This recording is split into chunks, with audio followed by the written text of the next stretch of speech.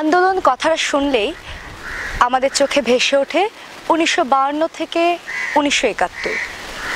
কিন্তু আন্দোলন কি আসলে শেষ হয়ে গেছে?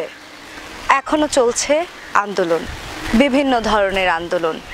নিজেদের বিভিন্ন চাহিদা, নিজেদের বিভিন্ন দাবি সব কিছু নিয়ে এখনও চলছে আন্দোলন। আমাদের জহির রায়হানকে নিশ্চয়ই মনে পড়ে এই মানুষটিকে আমরা হারিয়েছি উনিশশো বাহাত্তর সালে। আর খুঁজে পাইনি। তার মৃতদেহটাও না। এই মানুষটি তার খুব স্বল্প সময়ে লিখে গেছেন অসম্ভব সুন্দর কিছু লেখা। সেই লেখাতে আমরা পাই আন্দোলনের নতুন নতুন রূপ। এক আন্দোলন শেষ হয়ে গেলেও কীভাবে আরেক আন্দোলনে গত আন্দোলনের প্রবাহ টেনে নিয়ে আসতে হয় সেটাও দেখা যায়। আমার হাতে রয়েছে আরেক ফাল্গুন। জহির রাহানের এই বইটিতে আমরা দেখতে পাবো বায়ান্ন সালের আন্দোলনের প্রবাহটা কীভাবে টেনে দীর্ঘ সময় পরেও চলতে থাকে।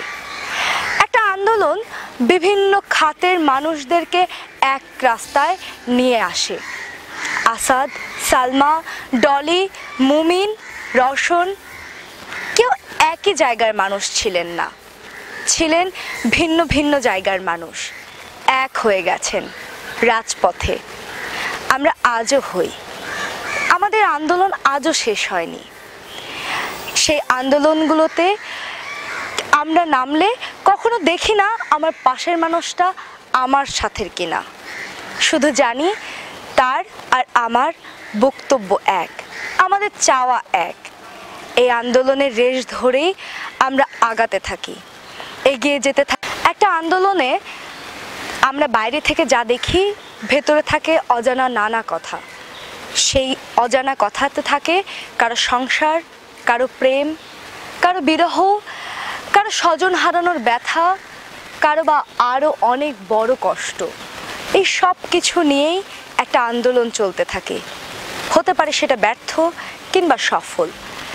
কিন্তু একটা আন্দোলন একটা বড় প্রেক্ষাপট নিয়ে থাকে। কিন্তু সে বড় প্রেক্ষাপটের আড়ালে ঢাকা পড়ে যায়, ভেতরে থাকে এই ছোট্ট ছোট্ট বিষয়গুলো। জহির রায়হান এই ছোট্ট ছোট্ট বিষয়গুলো খুব সুন্দরভাবে তুলে ধরেছেন আরেক ফাল্গুনে।